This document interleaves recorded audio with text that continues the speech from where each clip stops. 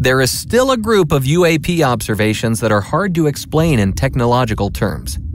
On the one hand, during an observation, the UAP is a real physical material object that is traceable by radar systems, visible by FLIR cameras and conventional photo cameras, and so on. A leading research and development engineer and manager for NASA, Paul R. Hill, describes in his book that UFOs have a solidity and hardness that is given by the sound of bullets striking UFOs.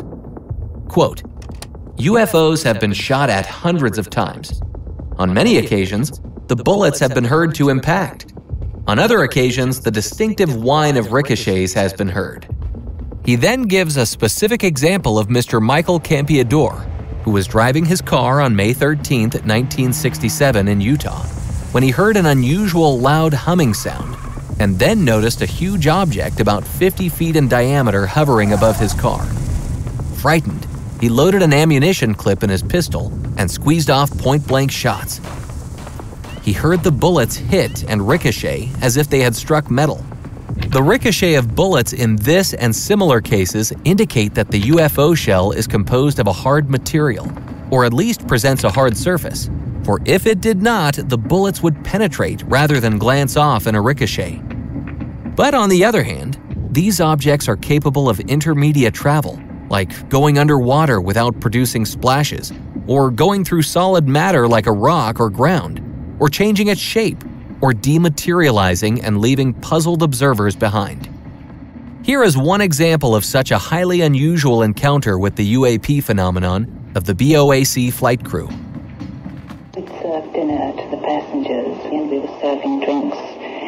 Noticed there was some confusion in the cabin passengers are all looking out of the um, port side of the aircraft.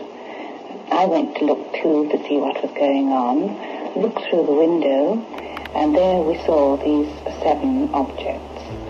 The one very large one, which was black and solid looking, it kept changing shape. When we first saw it, it was pear-shaped, and then it was stretched out like a cigar, and then like an inverted telephone. I know it sounds ridiculous, but it did look absolutely solid. There were six little ones flying in formation, sometimes three in front and three behind, or five in front and one behind, but always six, but changing formation.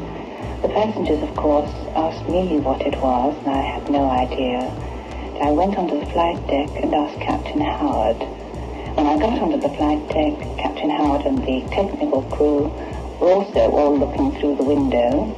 And when I asked Captain Howard what it was, he simply said, well, I don't know, but for goodness sake, keep the passengers happy.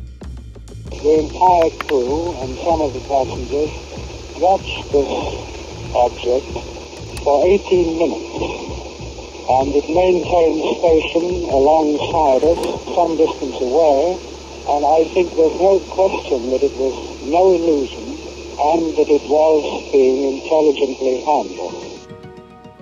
Now, theoretically, such UAP shapeshifting observation can be explained if it is some kind of a dynamic material or programmable soft matter. If you think this is far out, think again.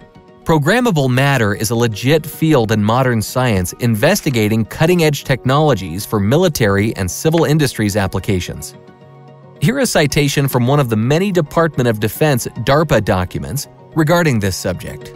Quote, Materials can be directly programmed to reversibly change their fundamental properties on demand and in real time when desired by the user. These properties include size, shape, form factor, and moduli.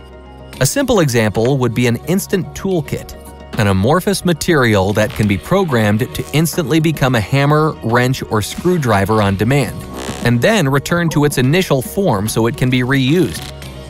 They are called the basic element mesoparticle, and that in principle, separability can be exploited to create dynamic materials of unprecedented complexity and capability. But even if all such technologies are possible, they are still based on a dense matter. It appears that UAP phenomenon uses either very clever deception or very advanced physical principles, or a combination of these that are resulting in the effects that could only be partially explained by known technology. and it seems like a big critical piece of data is missing here. Obviously, uh, having people present their sightings from other countries and what kind of data they've collected would certainly be of use to us. But of course, we're going to have to share some things that we've learned. And of course, that's that's what's of great concern, at least in the DoD and intelligence community, and that is they may be missing a critical piece of data uh, to make some giant step forward, and we just happen to have that particular critical piece of data. And if we shared it with them, uh, that would be a problem. Now, we can only speculate what this critical piece of data mentioned by Dr. Puthoff really is, but from the standpoint of known physics, it could be a complex plasma. In fact, the term plasma didn't occur even once during his presentation. However, complex plasmas are perfectly capable of going through solid matter and travel intermedia, among many other surprising things. Ken Shoulders, the former colleague of Dr. Puthoff, was an experimental physicist attributed the title Father of Vacuum of Microelectronics.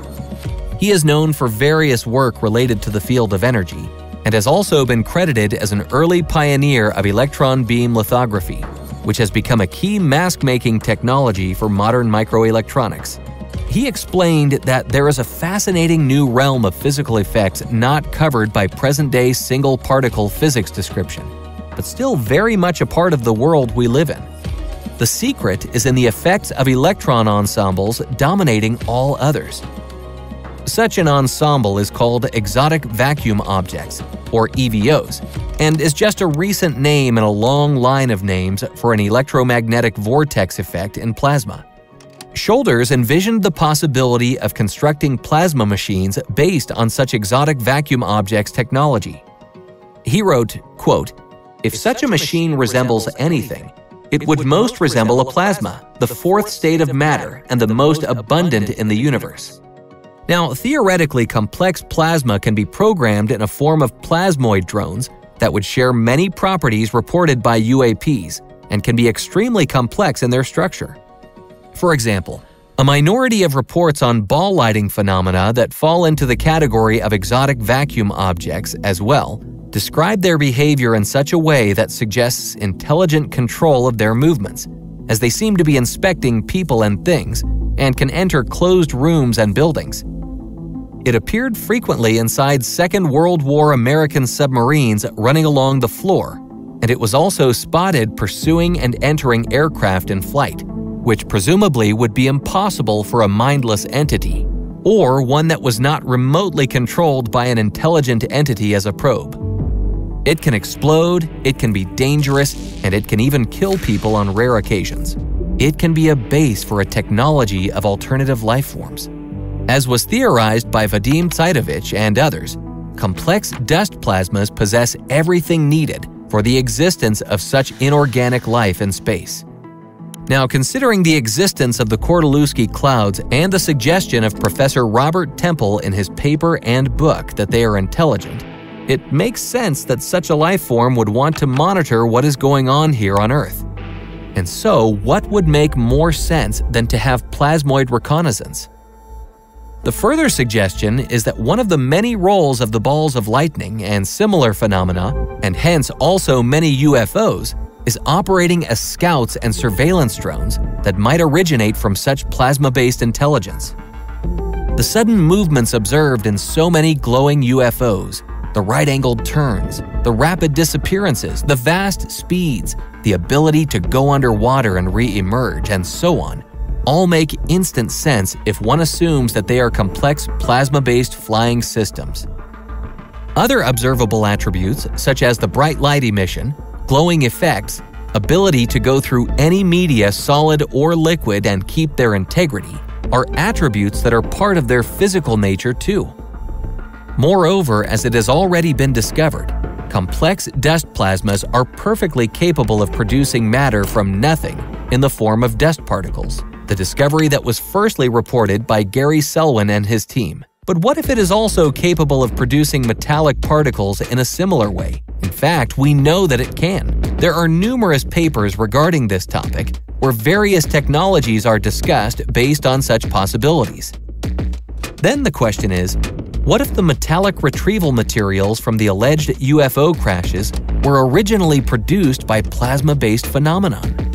In the public uh, unclassified uh, menu, there are a number of claimed pieces from various craft, from crashes or, uh, you know, one was shot off uh, decades ago uh, that has pretty good credibility and so on.